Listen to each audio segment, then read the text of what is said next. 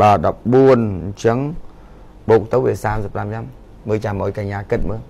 តើឆ្នាំអញ្ចឹង2037 2047ហ្នឹងចាតាំងពី2002ចា2002